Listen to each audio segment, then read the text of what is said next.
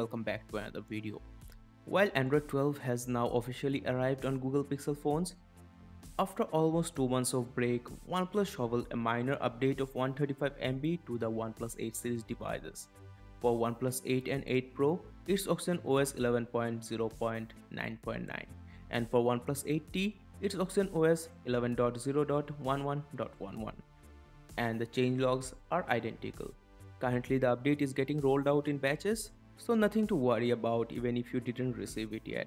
It may take some time to receive on your device. By the way, if you didn't hit the subscribe button yet, make sure you do it for more such videos.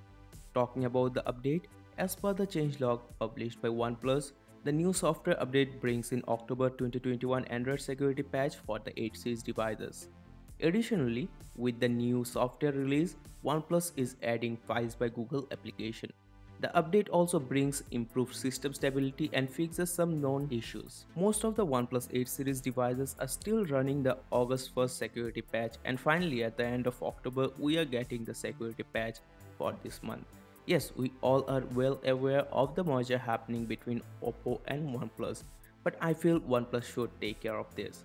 Anyways, coming to the installation process, if you got the stable version running on your device, you should receive it via the OTA update and can check for the update by going to settings, system, system update and if you didn't receive the update yet, follow the links provided below in the description and download the file. Once the file is downloaded, save it in the internal storage.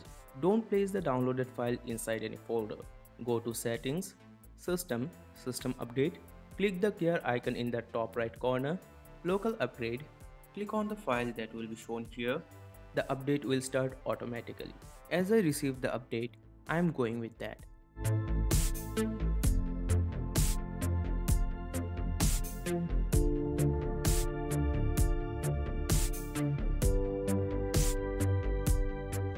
Let's have a look at the system information after the update. The major change that comes with this update is the security patch which was of 1st August previously has now been changed to October 1st 2021 and the Google Play system update which was of 1st August remains the same.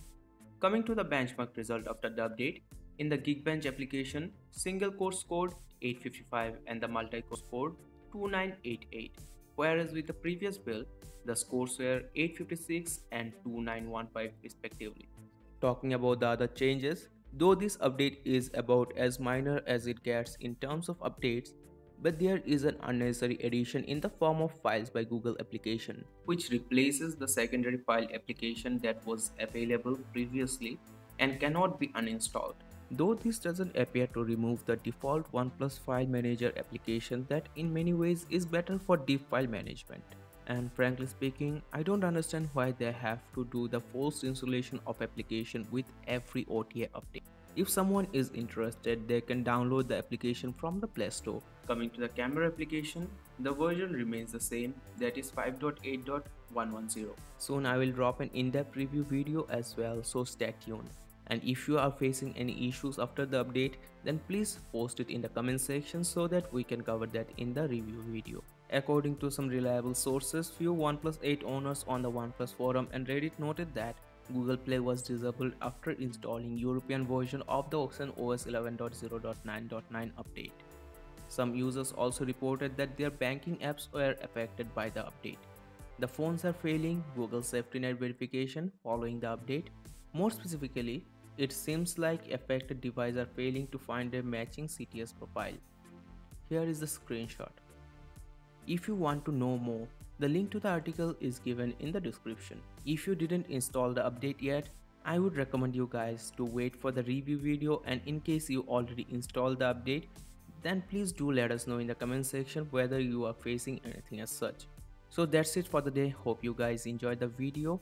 And if you have please do give it a thumbs up and support the channel by tapping the subscribe button. And please do share your view on the same in the comment section. And we can also connect on instagram. The handle is right in front of you with that being said thanks for watching the video. I will catch you in the next one